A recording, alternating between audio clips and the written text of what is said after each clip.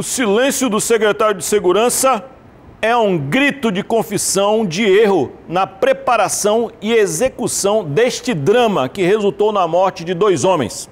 Afinal, foi ele ou não quem deu a ordem de enviar os policiais para um teatro de operações desconhecido? Essa ação precisa ser muito bem explicada.